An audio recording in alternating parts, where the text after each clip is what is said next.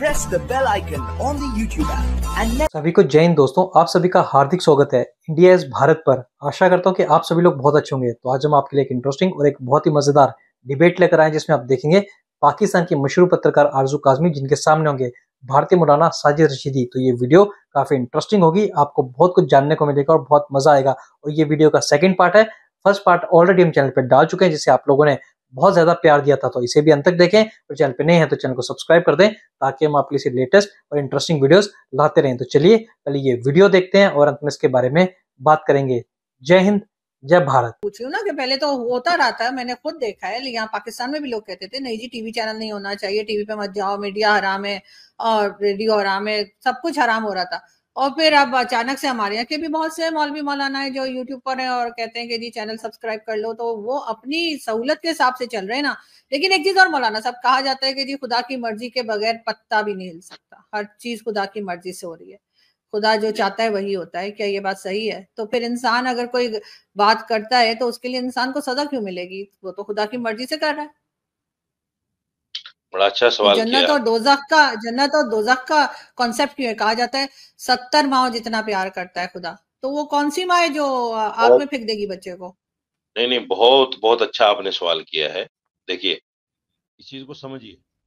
क्या समझना है इसमें? तो कॉल आ गई इसमें ये समझना है कॉल की वजह से मैं आपका सवाल भूल गया रिपीट करेंगे दोबारा? जहन से निकल गया पूछ रही थी मैं ये पूछ रही थी कि एक तो मैंने आपसे ये कहा था कि अगर सब कुछ खुदा की मर्ज़ी से हो रहा है तो फिर इंसान को सजा हाँ, किस हाँ, बात की मिलेगी? बिल्कुल मैं बताता हूँ मैं बताता हूँ। देखिए तकदीर दो तरह की है। एक तकदीर वो है जो अल्लाह ने अपने हाथ में रखी है। एक तकदीर वो है जो अल्लाह ने इंसान के सपुर्द कर दी है कि ये तेरे अमल पर मौकूफ है। सपोज़ कीजिए रोजी देना अल्लाह का काम है लेकिन उस रोज़े को हासिल करके हम्म, उसकी रोटी बनाना निवाला तोड़ के खाना सालन बनाना और फिर उसको मुँह में रखना चबाना पेट में ले जाना ये सब इंसान का काम है। इंसान को अल्लाह ने ताकत दे दी है। ऐसे ही अल्लाह ने इस्लाम में इस्लाम को नबी के ज़रिए से पूरे मुसलमानों को पूरी इंसानियत को बता दिया कि इस्लाम ये है। अगर ये करोगे तो जन्नत मिलेगी ये करोगे तो जहन्नम मिलेगी। अब सवाल ये है कि जो आपने कहा कि पत्ता बगैर उसकी ताकत के नहीं हिलता, बिल्कुल सही बात है। ये जो मेरा हाथ है, इसमें ताकत अल्लाह ने दी है। लेकिन अल्लाह ने ताकत देकर मुझे इजाज़त दे दी कि जब चाहे तो इसको हिला सकता है। मेरी जबान है, अल्लाह ने मेरी जबान में ताकत डाल के मुझे कह दिया कि अब जब चाहे तो बोल सकता है। मेरे मेरे पैर मुझे अल्लाह ने दिए और पैर देने के बाद कहा कि जब चाहे तो चल सकता है।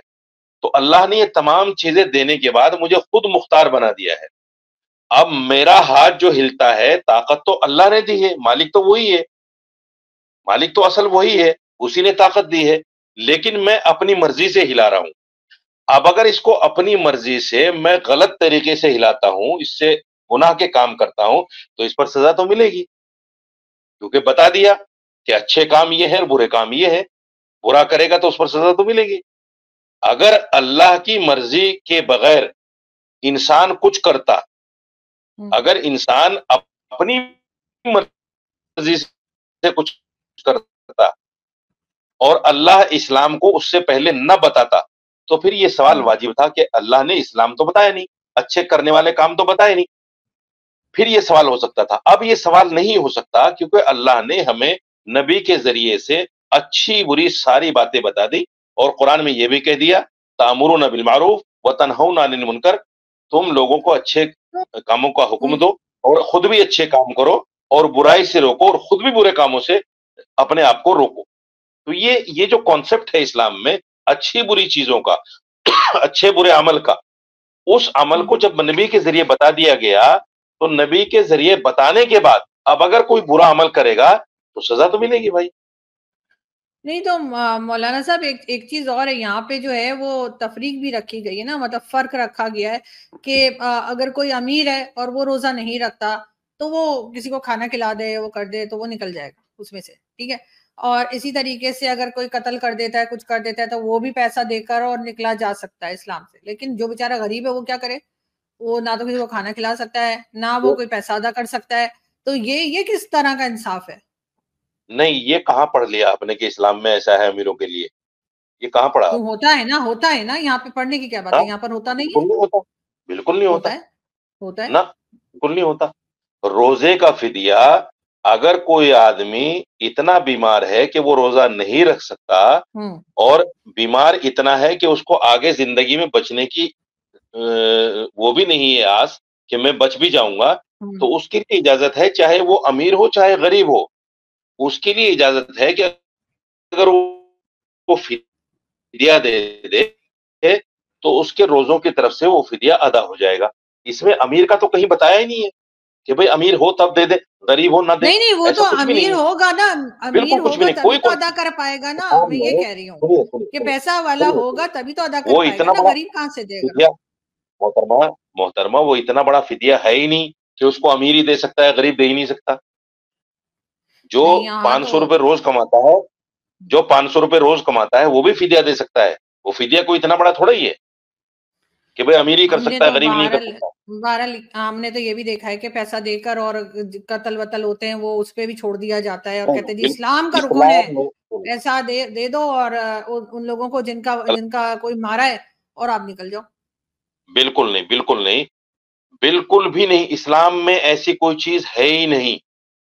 इस्लाम ने ये इजाज़त दी है कि जिनका कत्ल हुआ है हम्म। अगर वो माफ़ कर दें तो फिर जो शरीयत में उसकी सजा है कत्ल की वो उस पर लागू नहीं होगी। अगर वो माफ़ कर दें जिनका पैसा इन्वॉल्व नहीं है पैसे का ज़िक्र नहीं है पैसा लेकिन कोई तो पैसा दिया जाता है। नहीं नहीं पैसा पैसा कोई इन्वॉल्व नहीं।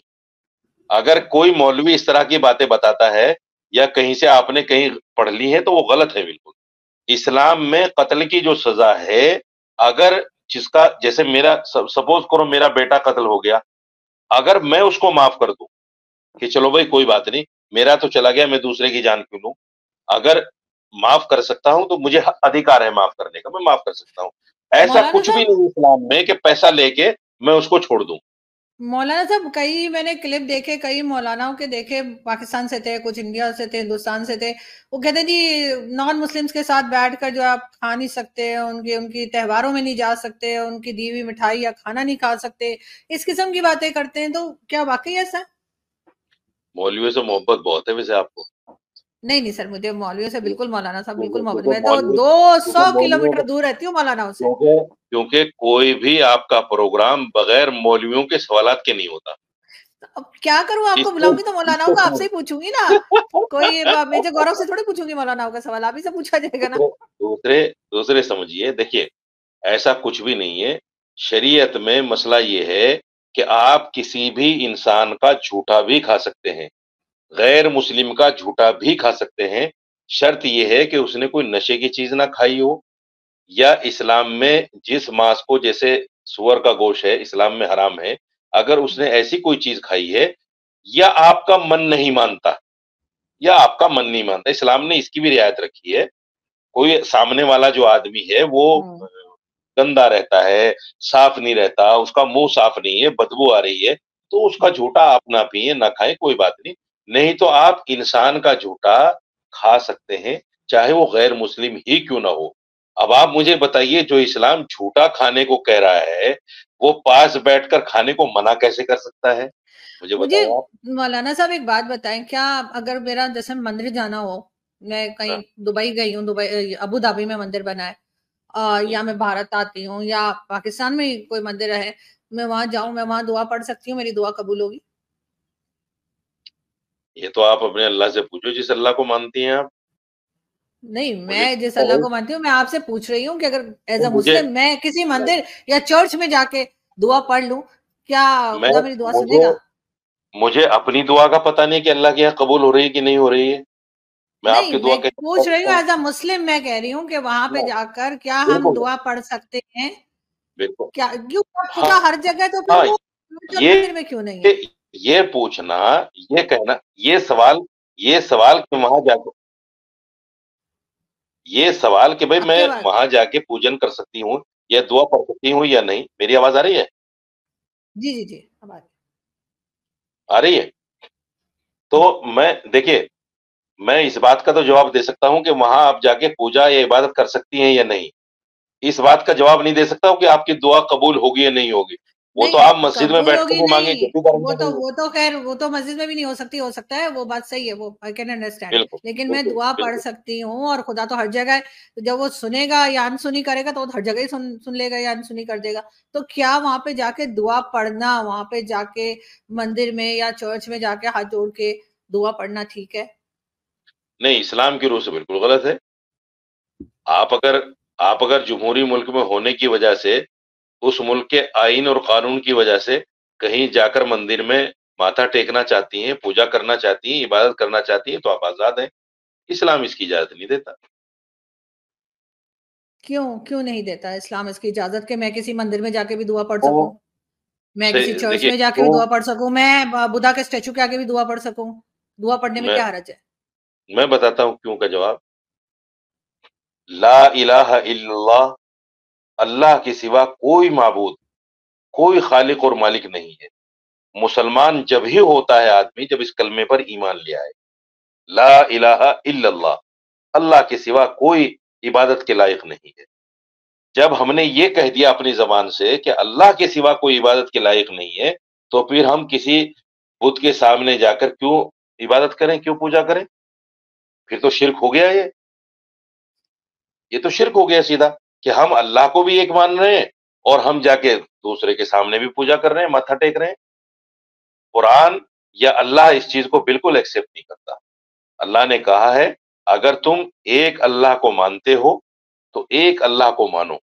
अगर नहीं मानना चाहते तो ना मानो तुम्हारी मर्ज़ी है। मगर लेकिन तो ये ये नहीं चलेगा।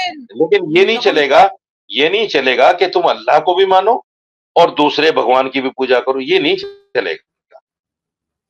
मगर इखलास नहीं है, है वो नहीं है, मिलावट हो गई आके वो वो चादर वगैरह भी डालते हैं वो जो हमारे मजार वगैरह होते हैं उस पे तो नॉन मुस्लिम्स भी आते हैं। अजमेर शरीफ पे बहुत से हिंदू और क्रिश्चियंस जाते हैं वो चादर चढ़ाते हैं तो उनका वो आ सकते हैं कोई बात नहीं क्योंकि हम उनसे पैसा ले रहे हैं वहाँ पे चंदा वंदा जमा कर रहे हैं इसलिए और हम अगर जाएँगे तो नहीं हम इस्लाम से बाहर हो जाएँगे।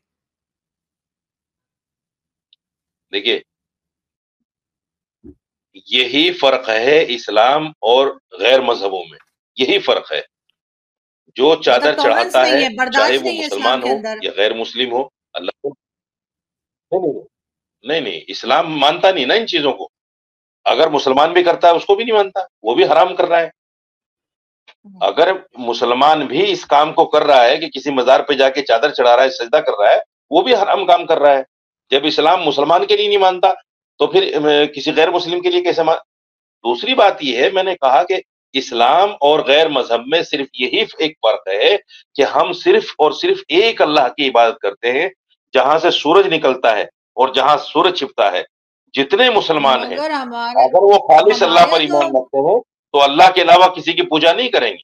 अगर कोई पूजा करता है तो तो वो शिरक करता है। मौलाना साहब हमारे यहाँ तो लोग करतारपुर भी जाते हैं बहुत से मुसलमान पाकिस्तानी मुसलमान करतारपुर भी जाते हैं वहाँ जाके भी दुआ पढ़ते हैं। और उसमें मैं तो समझती हूँ कोई हरज नहीं है आप दुआई तो पढ़ रहे उसमें से क्या शिरक हो गया? मैंने आपसे क्या कहा? मैंने आपसे ये कहा कि जो आदमी अल्लाह की इबादत के साथ किसी भी दूसरे देवी देवता की पूजा करेगा वो शिरक है। अब ये आप फैसला करेंगे हम पूजा कर रहे हैं दुआ पढ़ रहे हैं।